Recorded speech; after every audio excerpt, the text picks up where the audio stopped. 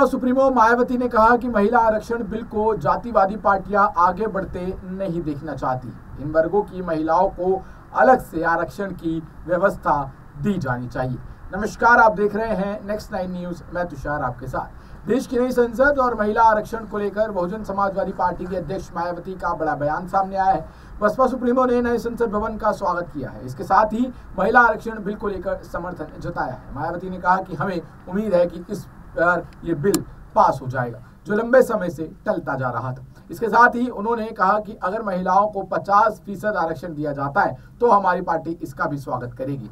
उन्होंने महिला आरक्षण में ओबीसी और एससी एक्सटी का कोटा अलग से निर्धारित करने की मांग की है। बसपा सुप्रीमो मायावती ने कहा कि महिला आरक्षण बिल को जातिवादी पार्टियाँ आगे बढ़ते नहीं देखना चाहती हैं। इन वर्गों की महिलाओं को अलग से आरक्षण की व्यवस्था की जानी चाहिए। अगर ऐसा नहीं होता है तो हम आ, हम ये मानकर चलेंगे कि ये कांग्रेस की तरफ़ इन्हें हाशिए पर रखना चाहते हैं। सीटें बढ़ाई जाए तो किसी भी प्रकार की राजनीति नहीं होनी चाहिए। हम पूरा समर्थन देंगे और बिल पास करने में हम मदद भी करेंगे। अब आपको बताते हैं कि इस बिल के आने से यूपी में इसका क्या असर होगा।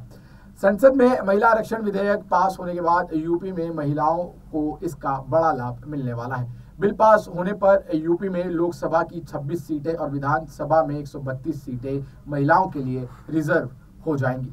मालूम हो कि यूपी विधानसभा में 403 सदस्य हैं, जिनमें से अभी महज केवल 48 महिलाएँ हैं और प्रदेश में केवल 12 फ़ीसदी ही उनकी भागीदारी है। वहीं विधान परिषद में उनकी भागीदारी मात्र 6 फ़ीसदी है। इसके साथ साथ ही लोकसभा सीटों की बात करें तो यहाँ यूपी में कुल 80 सीटें हैं, जिसमें 11 सांसद ही महिलाएँ यानी उत्तर प्रदेश में केवल 14 परसेंट महिलाओं की प्रतिनिधित्व देखने को मिलता है।